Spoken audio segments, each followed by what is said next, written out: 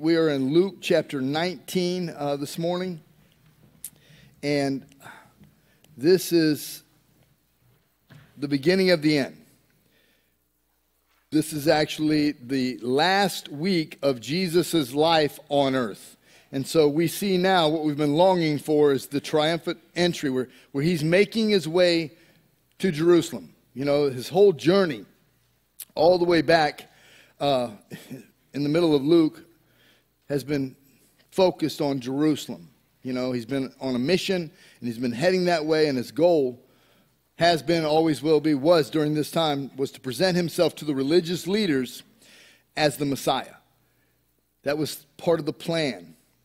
When he arrived in Jerusalem, he would spend time there teaching in the temple and sharing God's truth, allowing the world to have the opportunity to see him for who he was. Now, the section uh, that we're going to look at is divided into two parts. The first part is you have Jesus entering into Jerusalem. You know, he's on this journey and he's going to Jerusalem to present himself as the Messiah. We'll see that in Luke 19, beginning at verse 28, and it really goes all the way to verse 44. The second part uh, is where he enters the temple and he teaches for several days. And that actually takes place between Luke 19, beginning at verse 45, all the way through Luke 21, 38. So this will be, a, you know, we're not going to see it all today. Today we're just going to see the beginning of him entering into Jerusalem. But as we go through the Bible verse by verse out of the book of Luke, what we'll see is what Jesus was doing during the last days of his life. I'll, I'll give you a script of kind of how it all laid out. Uh, this is actually Sunday, and he's heading uh, toward Jerusalem.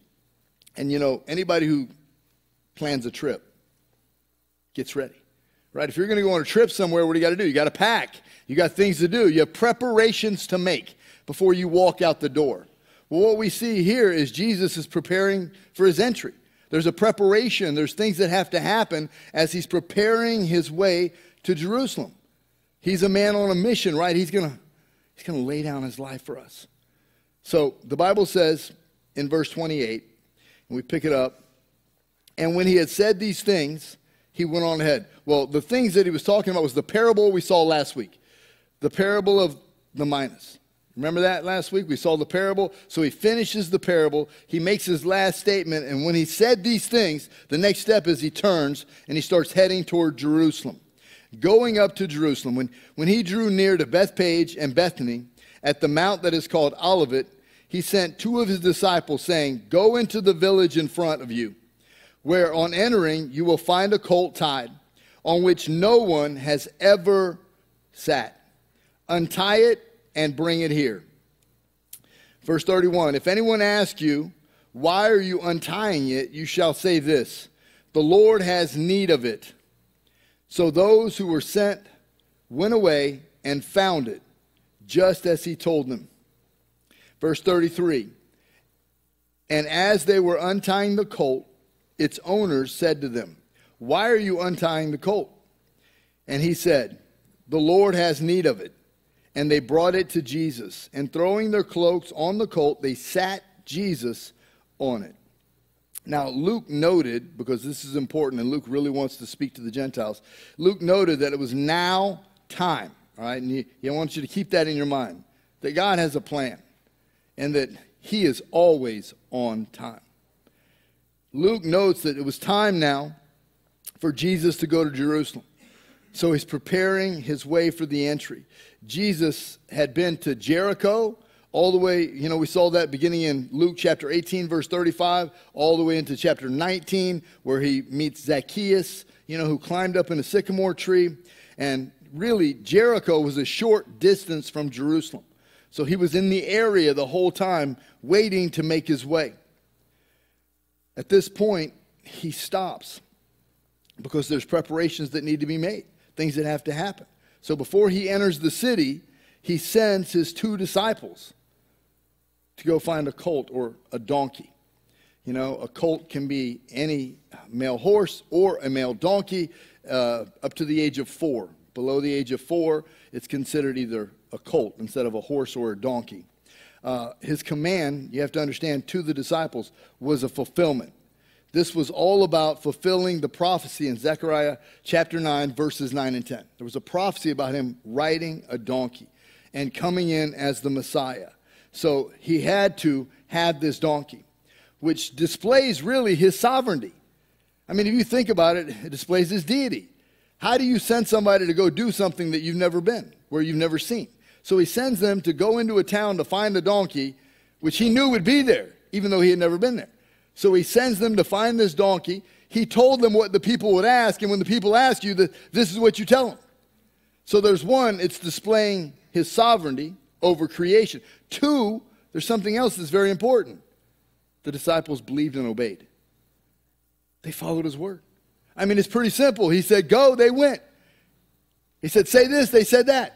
They did what they were commanded to do, they were obedient. If you believe that he is sovereign, the response is what? Obedience. If you truly believe that Jesus is the Son of God, if you believe that he is the King of Kings and Lord of Lords, you respond to his commands. I mean, that's what we do. We follow because of who he is, not because of what we get or who we are, but it's about understanding who he is and why he came. Now, we often think of donkeys as like a lowly animal, but it wasn't that way in the Jewish mind. In, in the, the Jewish mind, a donkey was a beast fit for a king. Go back and read 1 Kings chapter 1, verse 33, where the king sends him on a donkey, sends his son on a mule. Verse 44, same thing. The donkey was considered a strong animal. And the fact that this colt had never been ridden. I don't know if you've ever been on a wild horse before, but it's the ride of your life. And this colt just walked. Never been ridden. Nobody had ever sat on it which displays Jesus' power over his creation, sovereignty. An animal that had never been ridden, you know, and yet Jesus sat on this donkey and it led it into town. When, when I was young, I had a horse. And I had this love hate relationship with this horse. It was, you know, raised him from the time he was born and his name was Bocephus. I know I don't look like the country kind of guy, but I lived down Zephyrhills, had a couple acres. I was young, and I had this horse, and I wore a big belt buckle that was bigger than a frying pan. And I wore a cowboy hat, and I chewed Levi Garrett, and I went through this whole phase, you know. And uh, during that time, I was into horses, and I had pigs, and my horse and I, like I said, we had this love hate relationship because I would chase him around the yard with a dirt bike. You know, I had a 250 KDX, and I would and just chase him around the bike, and the horse would run, and then I would wait until he'd be asleep. And horses don't sleep laying down; they sleep standing up. And it'd be like two o'clock in the morning. Remember, I wasn't a believer, so I would wait and I would just run and I would jump on his back in the middle of the night, just woof, grab him. And I was, my body could handle it back then. And he would just go crazy. And it was kind of like a test to see how long I could ride him while he was going hog wild. We had a lot of fun. So, Deborah's going to hate me after this, but it's okay. I was not a believer. Let me quote that again. So I was not the nicest guy to my horse. But Jesus had power over all creation that he could get on a mule or donkey that had never been ridden and it not try to bug, try to bite, try to move. Now, Jesus is advancing toward the city. And this next passage is very important because it's prophetic and it has meaning for us. Verse 36 says, And as he rode along, they spread their cloaks on the road. As he was drawing near, already on the way down the Mount of Olives, the whole multitude of disciples began to rejoice and praise God with a loud voice for all the mighty works they had seen, saying, Blessed is the King who comes in the name of the Lord. Peace in heaven and glory in the highest, laying their garments on the road. And Luke omits the branches, but if you go to Matthew and Mark, there was also branches. Luke just didn't think it was significant at this point. But they laid branches in the road, they laid their cloaks in the road, and it was a sign of royalty. It was a reception for those who were royal. They were acknowledging his kingship, which is very important because in one moment they're acknowledging his kingship, and as we'll see later, they were crying, Crucify! They were double minded. One minute, yay, Jesus. The next minute, kill Jesus. You ever heard the expression two faced? Yeah. Right? We've all heard that. And we've often wondered what, what does that really mean? It means to be one way one minute and another way, to speak out of both sides of your mouth.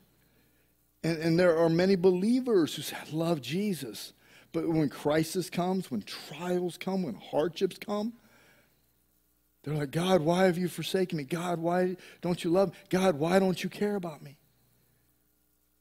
It's double mindedness. You know, and James even wrote about that. If you go read the first chapter of James, you know, when they were going through all this persecution, I mean, it was probably the greatest persecution the early church had faced up to that point. And James wrote in the first chapter to the 12 tribes scattered among the nations. That's how he starts his letter. These are the Jews that have been persecuted for their faith. He says, Consider it pure joy, my brothers, whenever you face trials of many kinds, knowing that the testing of your faith develops perseverance, and perseverance must have its work in you that you'll be mature and complete, not lacking anything. Then he says, If any of you doubt, why? Because James knows that we're back and forth, we're tossed here and there by our emotions, by fear, by worry. That's why we have to learn to walk by faith. These people weren't exemplifying faith. This was emotionalism, sensationalism. And I just want to tell you that you need to understand that because there are churches that feed off sensationalism. It's a rock party, man. You go and it's a concert and you sit through and there's all this great music. And then there's a hyped up message and it's sensationalism. What it's doing is speaking to your emotion. And even though your emotion is part of your makeup because you have a mind, will, and emotions, it's not the forerunner. We need to live by faith, not by what we feel. And so we have to be careful when we live for the Lord that it's not about the hype, it's about the walk. It's about the way we live our lives every day. This reception of royalty was beautiful. But it wasn't because they believed. Even though it said there was a multitude of disciples, because disciples can mean different things. These were just all followers, they weren't committed followers. These were people who were following because of what they could get. Viewing God as a vending machine. Man, I put my $5 in, God. Where's my gift? Where's my job? Where's my car? I've been faithful. Look, we serve Him no matter what we get. We don't serve Him because of what we receive, we serve Him because of what He did. He laid down His life for us. He don't owe you anything. He's already offered us eternal life. How much better can it get? No matter what we go through here, and I've said this before, that this life is the only heaven that many people are ever going to experience. But for you as a Christ follower, this is the only hell that you will ever experience. Isn't that good news? No matter how bad it is here, this isn't our hope. This isn't our home. This is the only time that Jesus permitted a public demonstration on his behalf. And he did so for two reasons. First, as I said earlier, it was a part of prophecy. He was fulfilling the prophecy as presenting himself as Israel's king. Zechariah 9 9. Much of this crowd probably didn't understand because remember, during the Passover, people were on a pilgrimage. People from everywhere who maybe never even saw Jesus or heard Jesus were all heading to Jerusalem for the Passover. So you had people who were just joining the crowd, right?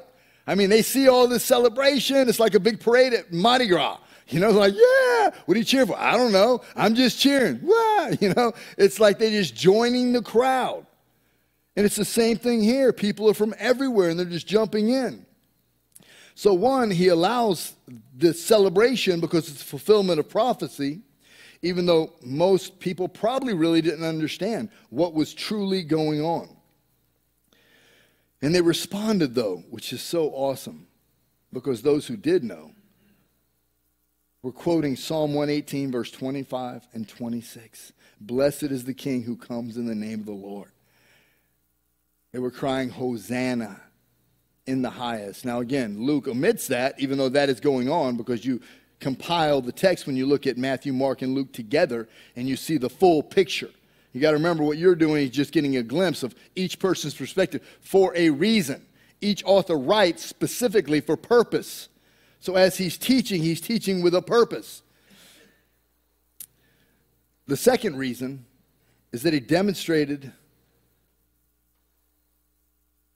to the religious leaders that he was who he said he was.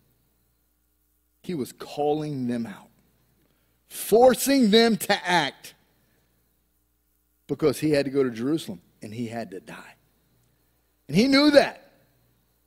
And they had tried to arrest him several times. And they had hoped to arrest him after the Passover. They wanted to do it after the Passover. In their mind, he wasn't supposed to die during the Passover. They were going to arrest him after the Passover. Matthew chapter 26, go look it up, verses 3 through 5. So their plan was to arrest him when this was all over.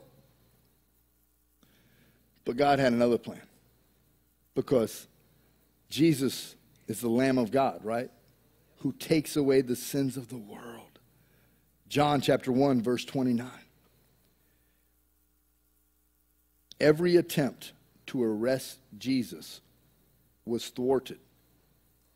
And the Bible uses a phrase over and over his hour had not yet come. His hour, every time they'd go to arrest him, the Bible would say, and his hour has not yet come. You can see that clearly in John chapter 7, verse 30. His hour had not yet come. In John chapter 8, verse 20, it's all through the Gospel of John. His hour had not yet come. But when it was time, he knew it. That's why he said in John 13, now before the feast of the Passover, when Jesus knew that his what? His hour had come to depart out of this world to be with the Father, having loved his own who were in the world, he loved them to the end. He knew it was time because God's timing is always perfect. Jesus in the high priestly prayer, John 17, 1. He says, When Jesus had spoken these words, he lifted up his eyes to heaven and said, Father, the hour has come. Glorify your Son, that the Son may glorify you. Listen, whatever God is doing in your life, it has purpose written all over it. And whatever that purpose is, is for the glory of God. So, look, you might be looking for a job and you can't find one. But God has purpose in that.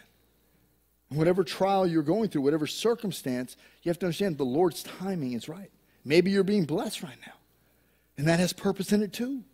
Maybe you got a better job. Maybe you made more money than you've ever made. Whatever God is doing in your life, it's Him who's at work. It's not you. It's God who is controlling and working and moving and the purpose of all things is for his glory, even the death of his own son. Jesus understood that. My question is do you? Do you understand that whatever event you find yourself in in life, whatever circumstance, whatever situation, it's all for God's glory? Hard times or good times. Even the pain has purpose in it. And God wants to use it for His glory. We have to wrap our minds around that truth because that gives us confidence to approach Him daily, to abide in Him, knowing that all things Like Romans 8 28 says, all things work together for the good of those who love him and who've been called according to his purpose. Why? Because verse 29, those he called, he's predestined to be conformed to the image of his son, that we might be in the likeness of Jesus. He is shaping us and molding us, all for the glory of the Father. God's timing is always perfect. And we need to understand that. This whole theme was a celebration of peace. People are rejoicing and they're praising and they're shouting, and there's this whole festival atmosphere. Luke opened up his gospel by announcing, using the angel's announcement. What did he say? The angel said, Peace on earth, right? Peace on earth. Luke chapter 2, verse 14. Do you notice the transition we just read? Not peace on earth, peace in heaven. And there's a transition because there's a purpose. So he starts by saying peace on earth, Luke chapter 2, verse 14. But now the theme is peace in heaven. What the change? Why the change? Because he was rejected as king on earth. And now there can be no peace on earth. Instead, there would be certain bitter conflict between the kingdom of God and the kingdom of darkness, the kingdom of evil. Jesus himself said that in Luke 12. There's this eternal conflict because there is no peace on earth. And one of the problems is we're always looking for peace on earth. See, our peace is this way. We should live at peace with everyone as long as it's possible with us, right? That's what Romans 12 14 says.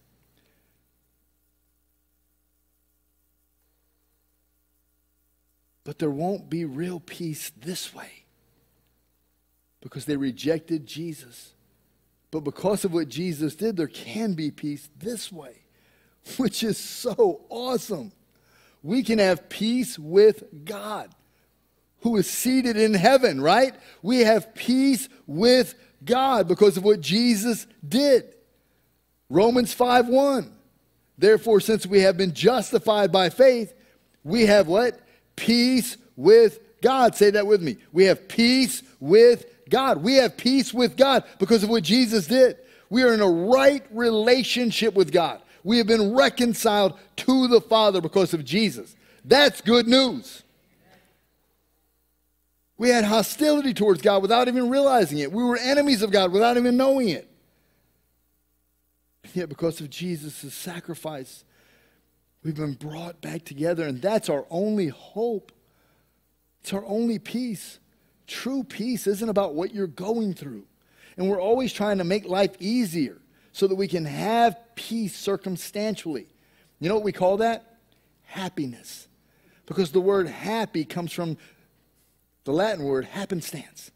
And it's about what's going on around you. So we want to be happy by controlling our circumstances. But instead of happiness, what we all really need is peace a real peace with God. A peace that no matter what we face, no matter what we go through, we know that it's all going to be okay. That this life is like a vapor that appears for a little while, then it's gone. That's how we walk by faith because we have peace with God. And not only do we have peace, but we have an appeal to make to the world. That's our message. Be reconciled to God because of what Jesus did. That should be our proclamation. That's why Paul said to the church at Corinth in 2 Corinthians chapter 5, he said, All this is from God. God did it all. We don't deserve any credit. All this is from God, who through Christ reconciled us to himself and gave us the ministry of what? That's our ministry. He gave us, as Christ followers, the ministry of reconciliation. The word reconcile means to take two opposing forces and bring them back together. People are enemies with God. Our job is to bring them to God, That's our job. We have the ministry of reconciliation through prayer, through the gospel, through serving and loving and guiding and teaching. I love that he says we have the ministry of reconciliation. That is, in Christ, God was reconciling the world to himself, not counting their trespasses against them, and entrusting to us the message of recon. God has given us this responsibility. I mean, a part of the whole reason Jesus is going to Jerusalem was to die that we might be reconciled. And then he's now given us, as his followers, the ministry of reconciliation. That's why Paul went on and he said, Therefore, we are what? Ambassadors. What's an ambassador? It's somebody who represents somebody else. When we think of the ambassadors we have in the embassy over in China or Korea or Germany, they're there for one reason. Well, they're supposed to be there for one reason. They're supposed to be there because they're supposed to be there to represent our nation. They're representing us as a people. That's their job. And what does the Bible say? We are ambassadors. You see, this world isn't our home. We're not from here. We're aliens in a strange land. And we are here to represent our Father. We're here to be the light. Therefore, we are ambassadors for Christ, God making his appeal through us. Hear me, because if we don't open our mouths, how can he make his appeal through us? He wants to use every one of us as we open our mouths to share the gospel. We are ambassadors for Christ, God making his appeal through us. For our sake, he made him who to be sin, who knew no sin, so that in him we might become the righteousness of God. We are God's righteousness on earth.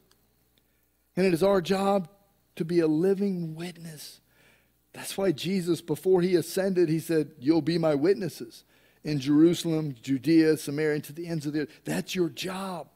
That's our calling, is to realize that we are here for one purpose. Hear me. One purpose to be ambassadors for God. That's our job.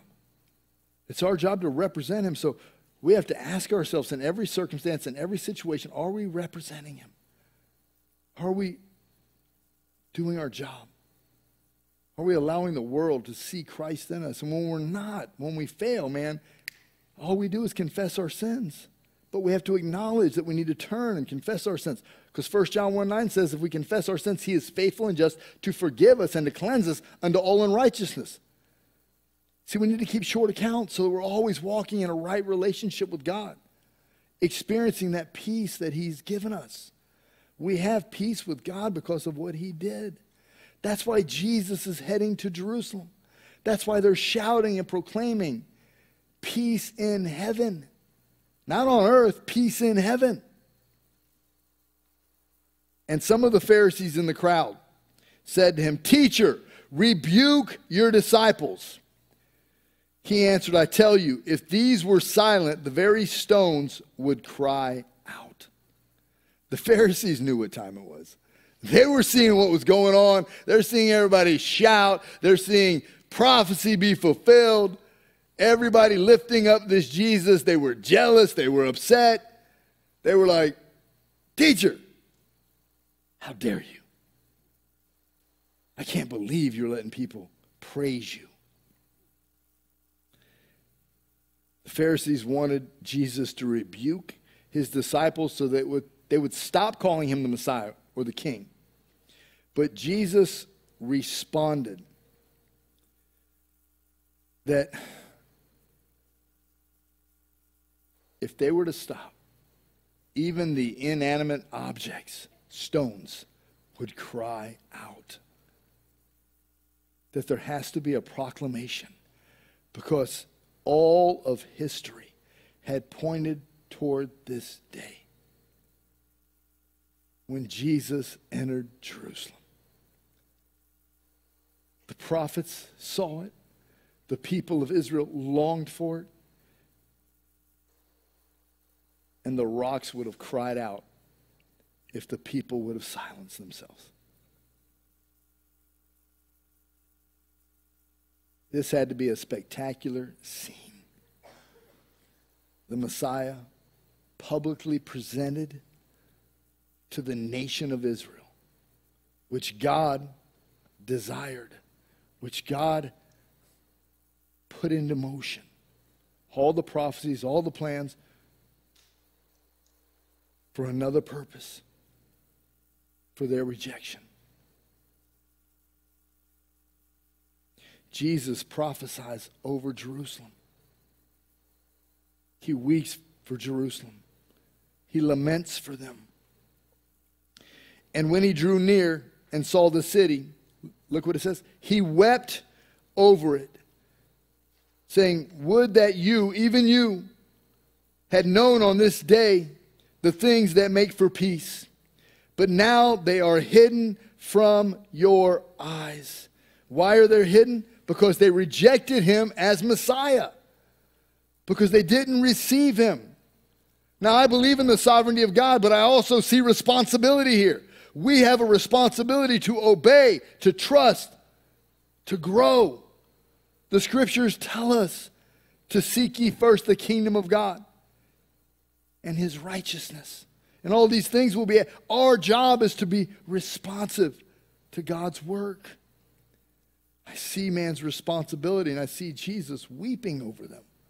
He says, For the days will come upon you when your enemies will set up a barricade around you and surround you and hem you in on every side and tear you down to the ground, you and your children within you. And they will not leave one stone upon another in you, because you did not know the time of your visitation. While the crowds were celebrating and rejoicing. Jesus was weeping. One experience, two different perspectives. Happens to us all the time. People can go through the same thing and respond differently. And the reason we respond differently is because of our perspective. Perspective is everything for the Christ follower. Your perspective will determine your outcome. And so, if your perspective is heavenly, you have God's perspective. But if your perspective is self centered or worldly, you have the wrong perspective. They cheered, they shouted, and Jesus wept. This is the second time in scriptures that the Lord openly wept. The first, of course, was at the tomb of Lazarus, right? Many of your favorite verse. It was easy to memorize. John 11 35, Jesus wept. So many of you started right there. That's where you got your first in, right? You got that first verse down. Jesus wept. So the first time we see Jesus weeping was over the death of Lazarus. And it was more of a silent, quiet weeping. But here, in the Greek, it's loud. It's an uttered lamentation, like the one mourning over the dead. It's pain, it's grief, it's real sorrow. In this, he was like the prophet Jeremiah, who wept over the destruction of Jerusalem. Jeremiah 9 1, right? Or go read the book of Lamentations man, as he wept for the people of Israel. Jonah looked at Nineveh and hoped it would be destroyed. Jonah 4. Kill him. He was upset when God didn't kill him. Wrong perspective. While Jesus looked at Jerusalem and wept because it had to be destroyed, because they rejected him. He knew what was coming. He saw the writing on the wall. Jesus displayed compassion, but he also foretold them of the days that were to come. that they would lie and ruin, and that he would reject them because they rejected him.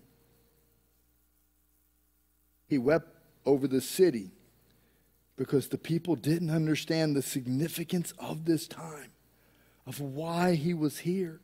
He was right before their eyes, and they rejected him. They didn't get it. And everything he said came true.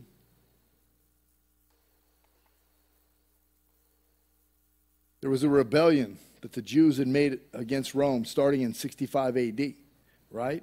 Because the emperor at that time had taken money from the temple. And the zealots had rebelled and gathered armies and slaughtered Romans, and Romans attacked Jerusalem and they besieged it in 70 AD. They, they surrounded it. Titus was the leading general. And they starved them. They hemmed them in, just like Jesus said. You'll be hemmed in on every side. They hemmed them in, starving them.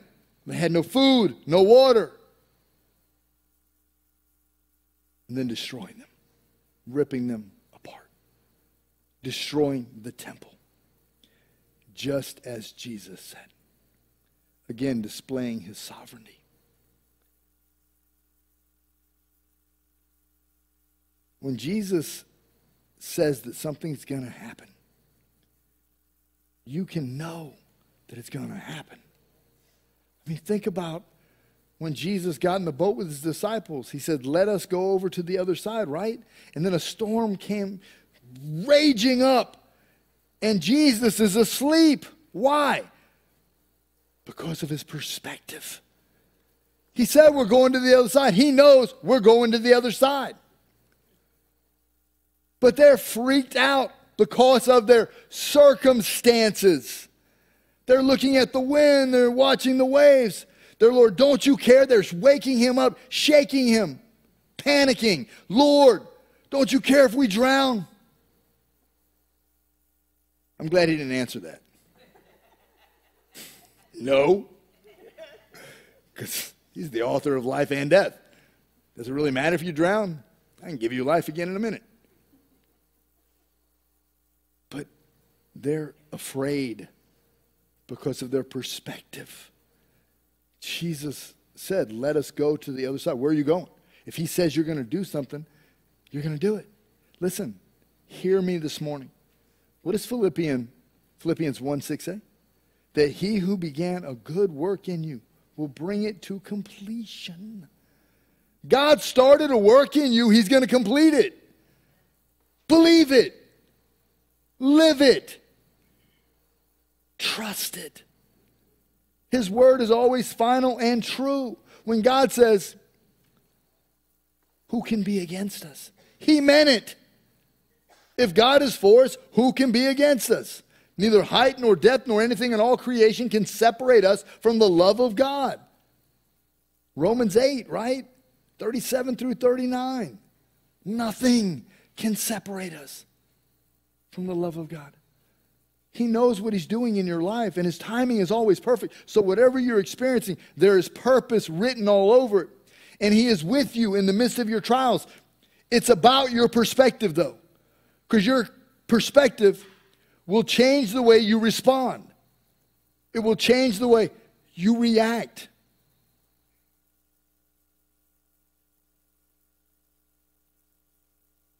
Jesus makes it into Jerusalem.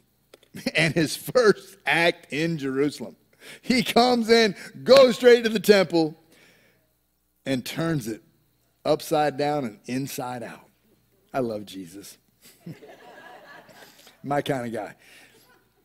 And he entered the temple and began to drive out those who sold, saying to them, It is written, My house shall be a house of prayer, but you have made it a den of robbers.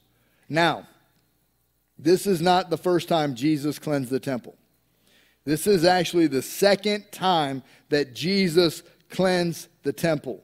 Once at the beginning of his ministry.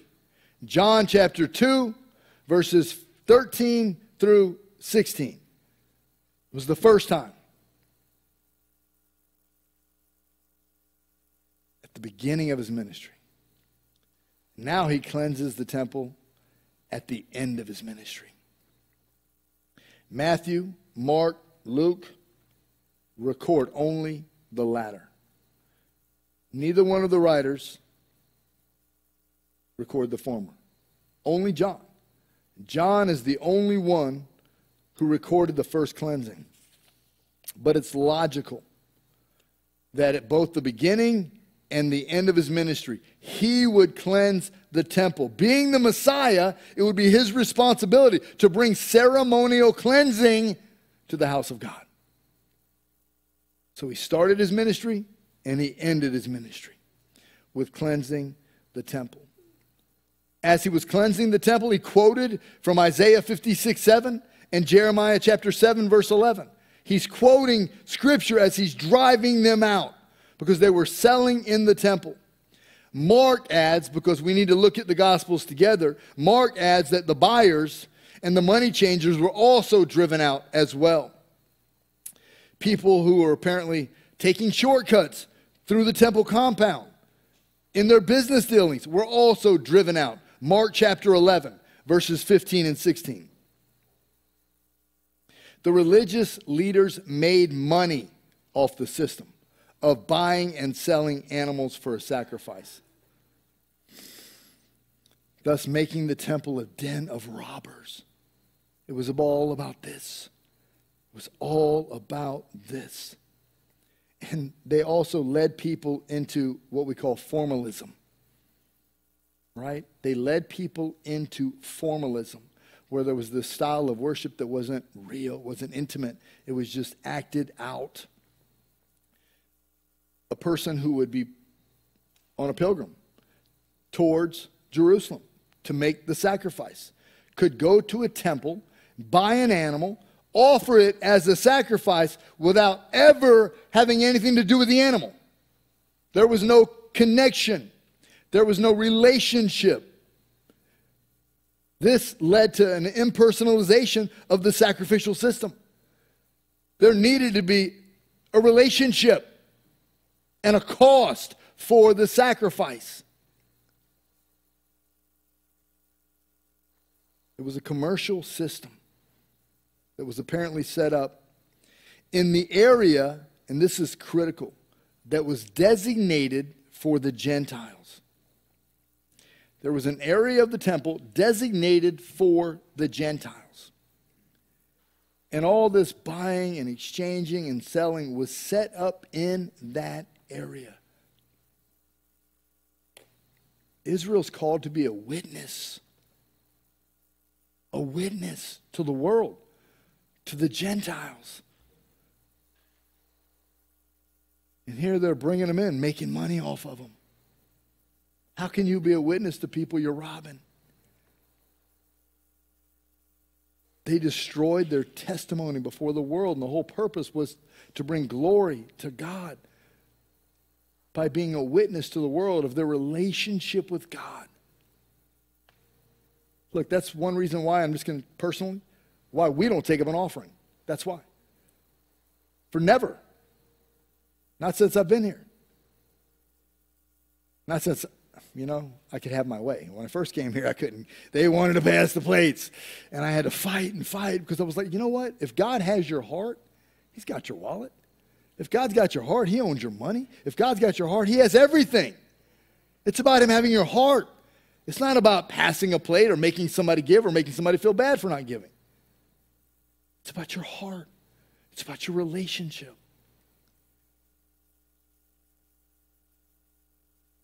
I don't ever want to be a bad testimony over money. And I don't want you to ever be a bad testimony to the world over money. The Jews lost their witness before the Gentiles by turning that area of the temple into a den of thieves. And we have to be careful to remember why we're here. Why are we here? To be ambassadors, to be a witness to the world of who God is and our relationship and our job is to have the ministry of reconciliation. So Jesus' first act in Jerusalem was ceremonial cleansing. And then we see that he was teaching daily in the temple. And he was teaching daily in the temple. The chief priests and the scribes and the principal men of the people were seeking to destroy him. But they did not find anything they could do, for all the people were hanging on his words. I'm going to close right here. All the people were what? Hanging on his words. What about you? Are you hanging on his words? Are his words more important than your own thoughts, than your own desires, than your own fears? Now, I really want you to think about that.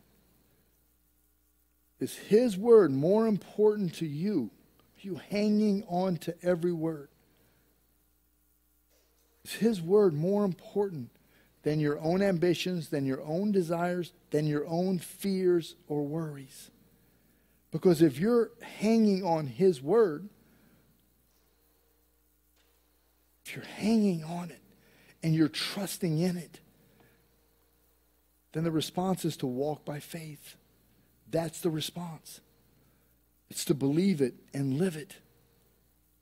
Listen, and I'm going to close with this statement and give you your memory verse. One of the biggest issues in the church today, I would say the greatest issue among those who claim to be believers, is unforgiveness. Right? Unforgiveness is one of the greatest struggles within the church, which is affecting our witness before the world. We get angry at somebody, or we get bitter at somebody, or we hold resentment towards somebody. And we're not walking in grace, right? The Bible says in Ephesians chapter 4 that we should be forgiving one another just as in Christ that God forgave us. Ephesians 4:32, right? Forgive one another just as in Christ God forgave you. So when you hold on to something, you're not hanging on to the word of God. You're not believing it. So I want you to think right now as we close. Is there anybody you're angry at, bitter at, upset with? Anybody that you're holding any resentment towards. Because the devil wants to use that to choke the life out of you. But God wants you to be a witness before the world. So bring that to Him. Say, Lord, help me to follow your word, to believe it and live it. Because it's your word. Your memory verse for this week? Yeah, that's right. I give a memory verse every week. Uh, every week for the rest of this year. All right, we're focused on living the word. We can't live it if we don't know it. So your memory verse for this week is 2 Corinthians chapter 5 verse 20. Therefore we are ambassadors for Christ, God making his appeal through us. We implore you on behalf of Christ be reconciled to That's our message. We implore you on behalf of Christ be reconciled to God. And we explain how. We tell people the gospel. This is our mission to help people to be reconciled to God. And there's no greater job on the face of this earth. It's the only job that has eternal, eternal benefits, right? Every other job you have is temporal because you can get fired like that, or you can lose your business, or you can, you know, go bankrupt. You can have all kinds of issues. But this job, nobody can take from you. Will you pray with me? Lord, thank you for loving us. Thank you, God for being so faithful, even when we're not. Lord, help us to be more faithful. Help us to be truly trusting in your word. Teach us, Lord, to hang on your word. That your word, God, would dictate what we think and what we choose and what we believe. I love you, Lord. And I know you love us. And I said, Thank you. Thank you for who you are. Thank you for the peace you give us through our relationship with you, knowing that it's all in your hands, knowing that we can truly trust you because you are in control. And whatever you do, God, is for our own good and for your glory. So help us, Lord, to believe you, to believe your word. In Jesus' name, amen.